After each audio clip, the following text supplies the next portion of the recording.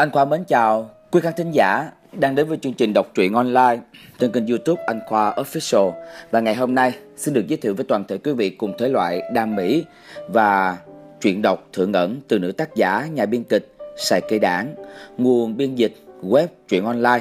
Xin được gửi lời cảm ơn đến các bạn một lần nữa. Cùng với các chương được giới thiệu trong lần này Chương 143 và 144 của truyện. Trước tiên, chương 143 sắp lộ tẩy. Cuối tuần, vốn nên là hai người cùng nhau trở về, thế nhưng ngại vì trong nhà bà Lạc Nhân có việc, cô Hải chỉ có thể ở lại một mình. Chiều thứ sáu vừa tan học, bà Lạc Nhân liền vui vẻ, thu dọn tập sách, chuẩn bị về nhà. Vừa nghĩ tới cuối tuần, có thể danh chính ngôn thuận ở lại nhà, không cần tìm các loại lý do, không cần nhìn cô Hải bày ra vẻ mặt thất vọng, bà Lạc Nhân cảm thấy cả người đều thoải mái vô cùng.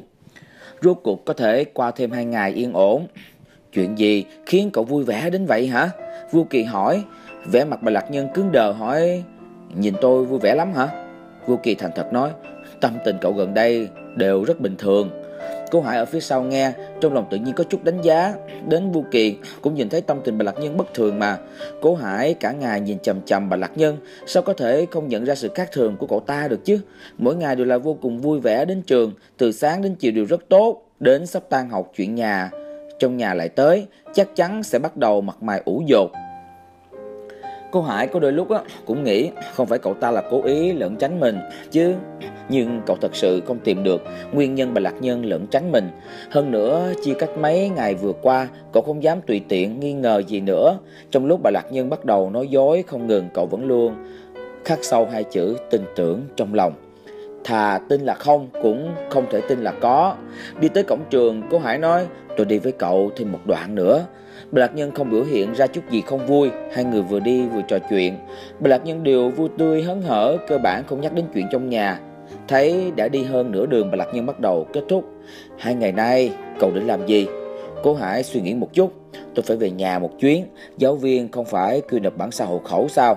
Bản sao hộ khẩu tôi để ở nhà, Tôi phải về nhà lấy. Chủ nhật chưa có dự định gì, Có thể sẽ đi thăm gì của tôi, Cũng có thể sẽ tìm vài người ra ngoài chơi. Bà Lạc Nhân dừng bước, vỗ vỗ vai của cố Hải. Ước gì được như cậu, Tôi còn phải qua nhà bác hai tôi. Cố Hải từ trong mắt bà Lạc Nhân nhìn không ra chút gì hâm mộ, Ngược lại giống như thương hại nhiều hơn. Cậu hai ngày đều không trở về sao? Bà Lạc Nhân thở dài, nhất định không về. Ngày đi học tôi cũng phải về giúp đỡ. Hiện giờ được nghỉ học, việc khổ sai này nhất định dành cho tôi. Còn không biết làm sao sống qua hai ngày này đây. Nhà bác hai cậu không phải rất giàu sao? Kha sao không mời người có chuyên môn đến xem thử? Lông mày anh Tuấn của Bạch Lạc Nhân vặn vẹo đầy nghệ thuật. Tôi còn phải nói với cậu rồi sao? Bác hai tôi bình thường có tiền, vừa lúc có việc lại không có tiền. Tiền thuốc men của chị tôi còn là ba tôi ứng trước đó. Cô Hải gật đầu, Vậy được rồi, Cậu cứ ngoan ngoãn ở nhà đi, Khóe miệng bà Lạc Nhân. Giật giật, Im lặng cả buổi mới phát ra một chữ. Ừ. Hai người nhìn nhau giây lát, Bầu không khí có chút không tự nhiên. Bà Lạc Nhân nghĩ thời cơ không sai biệt lắm, Liền dục, Vậy cậu trở về đi, Bắt xe mà về, Cũng tiễn đoạn đường xa như vậy rồi. Trên mặt của cố Hải hiện ra không muốn Đây chính là hai ngày không gặp mặt đó. Tôi muốn tiễn cậu thêm một lúc nữa. Bà Lạc Nhân nhẹ giọng khuyên bảo đừng tiễn nữa, lát nữa ba tôi thấy lại giữ cậu không cho đi. Cô Hải nhếch khóe môi một cái, vậy không phải càng tốt sao? Bà Lạc Nhân im lặng, cô Hải lấy tay chọc chán bà Lạc Nhân một cái. Giờ tôi đi thật đây. Bà Lạc Nhân gật đầu, tôi đi thật nhé. Cô Hải vẫn không rụt rịch. Bà Lạc Nhân đạp vào chân của cô Hải một cái, cậu có thể thẳng thắn một chút không hả? Cô Hải trước khi đi xoay người, rõ ràng thấy được thần thái khác thường trong mắt Bạch Lạc Nhân. Buổi tối trước khi ngủ, mà Thông Thiên ở bên cạnh, quơ quơ cây súng của cô Hải cho nó, không ngừng dùng móng tay làm gãy thân súng phát ra tiếng can két khó nghe. Bà Lạc Nhân đối với cái tiếng này vô cùng dị ứng mỗi lần nghe xong cả người đều nổi da gà. Đàng hoàng một chút cho anh, mau đi ngủ. Bà Lạc Nhân kéo mà Thông Thiên một cái. Mà Thông Thiên ngã vào trong chăn, thuận thế thể hiện một tư thế bị thương, gặp nguy hiểm không sợ, mắt nhắm nhắm, lại hướng trần nhà bắn một phát, tới khi thỏa mãn bỏ súng xuống, quay qua bà Lạc Nhân hỏi, chừng nào anh cố Hải đến ạ? À? Bà Lạc Nhân liếc liếc Mạnh Thông Thiên, không cần chờ, cậu ta cuối tuần này không tới được. À, mà Thông Thiên hạ vai, cả người ta cả tuần đều hy vọng. Vừa đến cuối tuần anh Cố Hải sẽ mang cho em nhiều đồ chơi mới. Anh ấy không đến, em không có hướng làm bài tập. Lúc cậu ta tới, anh cũng không thấy em làm bài tập nha. Mà Thông Thiên lén trừng mắt liếc bà Lạc Nhân. Bà Lạc Nhân như là nhớ tới cái gì á, quay qua mà thông Thiên ngoắc ngoắc tai. mà thông Thiên vô cùng biết điều bỏ tới. Mà nhắc nhở em, nếu như cô Hải xuất hiện hỏi anh mấy ngày nay ở đâu, em đừng nói anh về em ngủ chung, nghe không? Ủa vì sao? Mà Thông Thiên nháy mắt mấy cái. Bà Lạc Nhân giọng nói cứng nhắc. Em không cần quan tâm vì sao, nếu như em nói ra anh sẽ khiến em sau này không gặp được cậu ta. Hả? Mà Tông Thiên vẻ mặt hoảng sợ, em tuyệt đối sẽ không nói đâu. Bà Lạc Nhân yên tâm, tắt đèn đi ngủ. Ngày hôm sau có chút buồn chán, buổi sáng chơi bóng, buổi chiều tìm Dương Mạnh ở lại một lúc, chạng vạn về đến nhà, đang chuẩn bị đến giờ ăn cơm. Mỗi thứ bảy, Thiêm Trâu đều làm một bàn lớn đồ ăn ngon. Đây là thời gian bà Lạc Nhân hưởng thụ nhất, hôm nay cũng không ngoại lệ. Rửa tay một cái, ngồi vào bàn ăn, tâm tình rất tốt, nhìn chằm chằm một bàn đồ ăn ngon. Hôm nay Đại Hải lại không đến hả? Thiếm trâu hỏi, bà Lạc Nhân gật gật đầu vừa muốn động chiếc đũa điện thoại lại tới. Nhân tử, tôi sắp đến nhà các cậu rồi. Bà Lạc Nhân căng thẳng trong lòng vội vàng trả lời, không phải nói không cho cậu tới sao? Cậu thật sự ở nhà hả? Cậu không phải nói hôm nay phải đi nhà bác hai sao? Bà Lạc Nhân tức giận, nhà bọn họ không nấu cơm, tôi phải nhà ăn cơm, ăn cơm xong lại đi. Vậy thì tốt rồi, tôi chính là tới thăm cậu một chút, gặp một chút sẽ đi mà. Bà Lạc Nhân còn muốn nói gì đó, cô Hải đã cúp điện thoại rồi. Nhìn một bàn đồ ăn thật ngon, bà Lạc Nhân sốt ruột, sao lại thành ra thế này? Nếu để cô Hải nhìn thấy nhà các người xảy ra chuyện lớn như vậy mà còn ăn thịt cá, hợp lý không? Thế mà nhanh lên một chút đi đem mấy ăn ngon trên bàn cất đi Cô Hải nói là sắp tới. Cái này, cái này, cái này nè Đều cất vô chạng đi Chờ cô Hải đi rồi ăn tiếp. Nói xong bà Lạc Nhân bưng một chén thịt muốn đi. Thiêm trong ngay ngẩn cả người Nhân tử dọn làm gì hả? Để Hải tới vừa hay ở đây ăn luôn Thiêm còn muốn nấu thêm vài món này. Mà trong thiên cũng ở một bên kêu to Con muốn ăn thịt. Không có thời gian giải thích Các người không dẹp. Tôi dẹp là được rồi, nghĩ thế, liền cầm lấy một tô sườn heo bưng vào. Thiêm Châu thấy bối rối, nhìn thẳng Bạch Thắng Kỳ hỏi, thằng nhỏ này sao vậy ta? Không biết nữa, tiếc của hả? Không muốn cho đại hải ăn hả? Không đến nỗi như thế chứ. Bà Lạc Nhân quay lại một chuyến lại bưng đi hai đĩa rau xào trước khi đi còn dặn dò một câu nhớ kỹ lời hôm trước còn nói với mọi người nha đừng để bị lộ Thiêm Châu càng mơ hồ bà Thắng Kỳ vỗ vỗ vai Thiêm Châu hiện giờ con nó học hành áp lực lớn thích bài chút trò vui tùy ý nó đi. Rất nhanh, bà nội bạch và ông nội bạch cũng bị bà lạc nhân dìu về phòng. Đồ ăn ngon trực tiếp đưa vào. Mà tên Thiên nhịn không được mê hoặc của đồ ăn ngon ở dính trong phòng bà nội bạch và ông nội bạch không ra. Chờ tới lúc cô Hải tới, trong lòng ăn, phòng ăn á, lúc này tràn ngập một không khí u ám. Chỉ có bà Lạc Nhân, bà Thăng Kỳ và Thiêm Châu ba miệng ăn vây quanh một cái bàn lớn.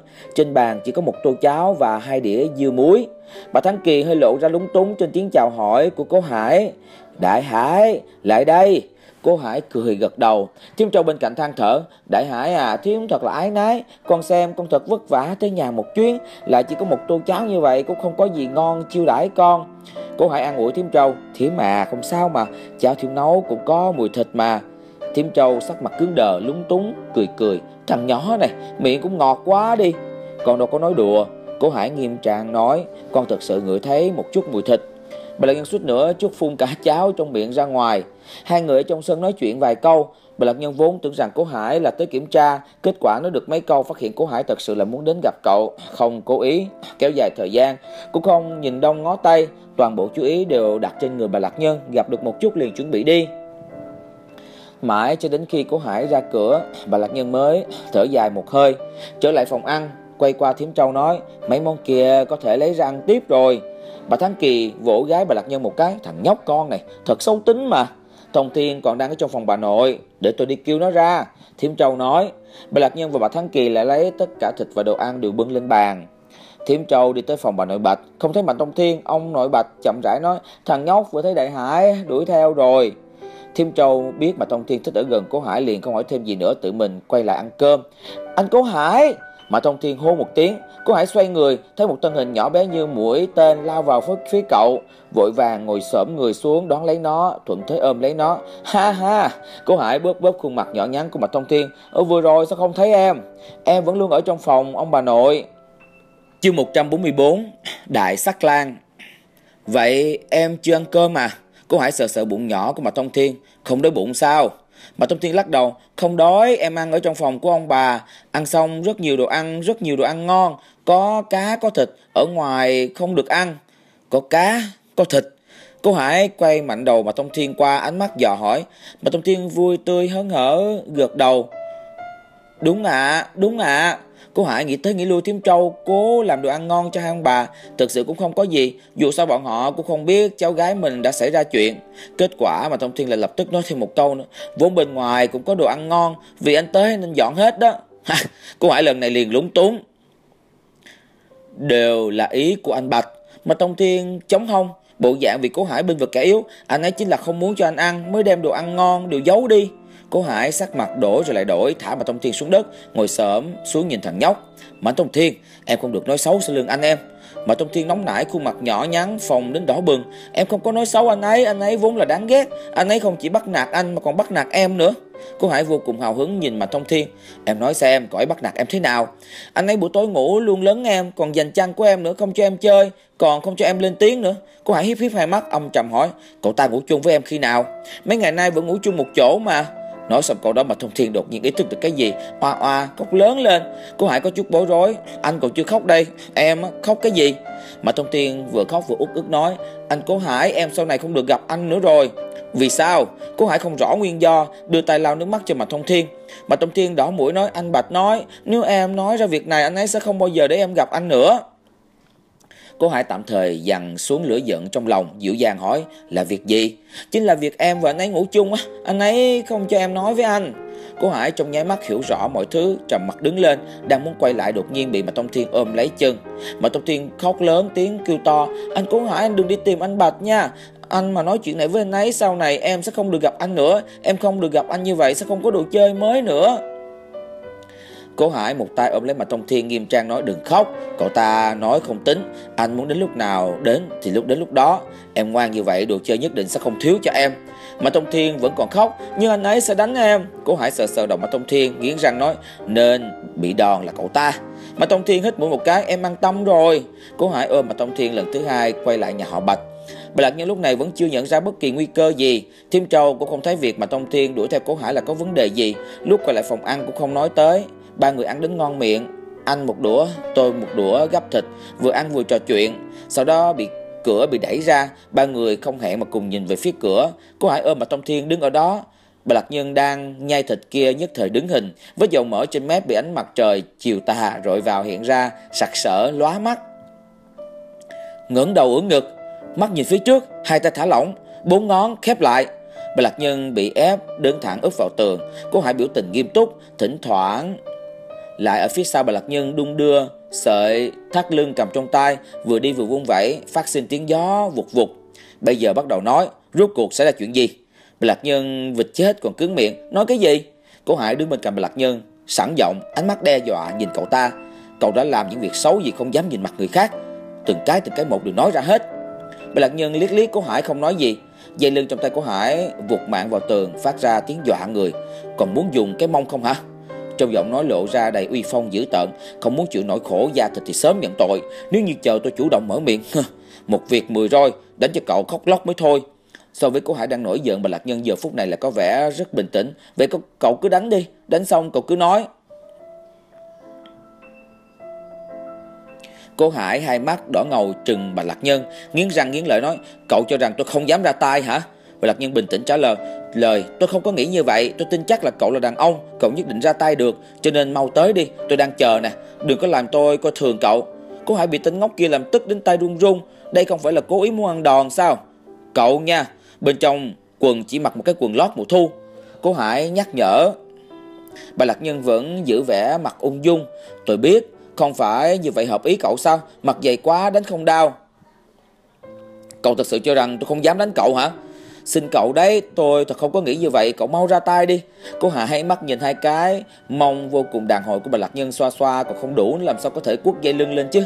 Dàn co nửa phút bà Lạc Nhân nhìn không được, bật cười trước eo lưng vốn đứng đến căng cứng, cũng bắt đầu tự nhiên thả lỏng, lúc lắc cặp chân một cái, ánh mắt cười cười nhìn cô Hải, nghiêm túc một chút đi, đừng có cười cợt với tôi.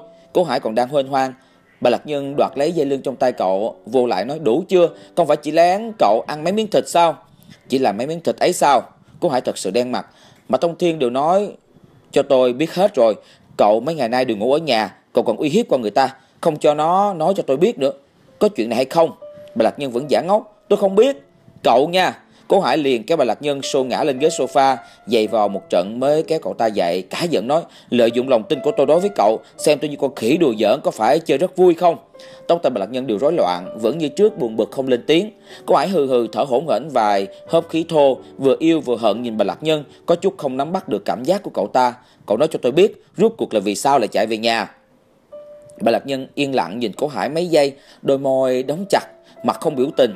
Cô Hải đối với tính tình bà Lạc Nhân hiểu rất rõ, tuyệt đối là thiên hạ đệ nhất quật cường. Nếu cậu ta không muốn nói, cho dù cậu ép cậu ta thế nào, cậu ta cũng sẽ không nói. Cô Hải thả lỏng, thông thả hít thở một chút, lấy tay chỉnh lại đầu tóc rối bời của bà Lạc Nhân giọng nói đã lấy sự dịu dàng lại. Là tôi làm cơm không ăn được à? Là tôi không cho cậu mát như ở nhà? Là tôi không nói hay là nói lời gì không nên nói? Chọc cậu mất hứng sao? Là tôi lạnh nhạt với cậu, cậu cố ý trả thù tôi? Hỏi hơn 10 cái có khả năng đều không được đáp lại. Cố Hải rốt cuộc khôi phục bản sắc lan sói. Cậu không chịu nói tôi tự có bản lĩnh khiến cho cậu mở miệng, ánh mắt nóng lên, mạnh mẽ cởi quần Bạch Lạc Nhân. Ánh mắt vốn lạnh nhạt của Bạch Lạc Nhân lập tức bắn ra vô số tia chống đỡ, cậu dùng sức gạt cổ tay của Cố Hải. Cố Hải vẫn khăng khăng cố chấp tiếp tục. Bạch Lạc Nhân đá mạnh một cú lên bụng Cố Hải, Cố Hải bị đau. Cùi trẻ, cùi chỏ đè lên ngực của Bạch Lạc Nhân, đè cả người xuống, đệm sofa trụng xuống một cái lỗ to. Muốn cùng cậu thân thiết một chút khó như vậy sao? Cố Hải cắn cắn yết hầu bà Lạc Nhân, tay Bạch Lạc Nhân đều liền chết. Kẹp chặt cổ họng của Cố Hải, cố sức nói, vốn là không khó là cậu không nên khiến nó trở nên khó khăn. Cố Hải tạm thời buông tha, trói buộc đối với bà Lạc Nhân. Mắt yên lặng nhìn cậu ta hỏi, vậy cậu nói đi, làm sao có thể dễ dàng? Cậu để tôi, tôi đè cậu, tôi sẽ không chạy. Cố Hải trong nháy mắt hiểu được thì ra tên nhóc này là tính toán việc này. Tôi cũng can tâm tình nguyện cho cậu đè, cậu không thể để tôi vào một lần. Không thể. Mắt bà Lạc Nhân căng cứng. Cố Hải hiếp mắt quan sát.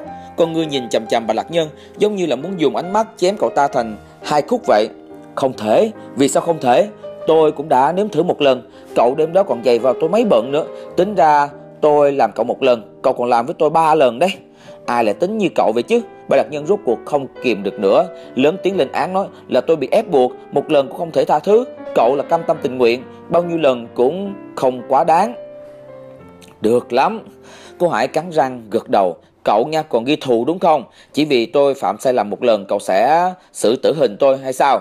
Thằng nhỏ nhà tôi hùng tráng uy vũ như vậy, cô lại nhẫn tâm phế nó đi sao? Bạc nhân môi mỏng gật đầu, tôi nhẫn tâm thế đó. Cô Hải sửng sốt chỉ chốc lát đột nhiên ngồi dậy, hướng ra ngoài cửa sổ, rống giận ba tiếng sau đó như không có việc gì quay đầu lại, tiếp tục giữ vững một đôi mắt hùng hổ, khoác lên vỏ bọc lan sói, bọc một tầng da mặt dày ngàn năm, giọng điệu êm ái cầu khẩn nói: "Nhân tử à, vợ yêu, tôi mấy ngày nay nỗ lực vì hạnh phúc hai đứa, tôi đốt đèn đọc sách đêm khuya, mất ăn mất ngủ, thế tôi chăm chỉ như vậy cậu không thể chăm chút một chút sao? Nếu không thấy cậu liều mạng học tập hăng say, tôi còn thật không đến mức cả ngày chạy về nhà, bà Lạc Nhân cả người lạnh buốt. Mà không phải tôi bá đạo, Cậu xem lần trước tôi cũng để cho cậu thử kết quả thế nào. Hai đứa đều chịu tội, không nói. Còn phải gặp nhiều chuyện như vậy. Nhân tử à Lần trước là tôi chưa phát huy tốt. Cậu cho tôi một cơ hội đi. Tôi đảm bảo một lần sẽ khiến cậu yêu cả đời. Chúng ta vừa nghe qua hai chương 143 và 144 của truyện đọc Thượng Ẩn, từ nữ tác giả nhà biên kịch Sài Cây Đảng. Và anh Khoa hẹn gặp lại tất cả quý vị ở các chương tiếp theo của truyện cũng được phát trong chương trình đọc truyện online trên kênh youtube anh Khoa Official. Một lần nữa xin được trân trọng cảm ơn và hẹn gặp lại.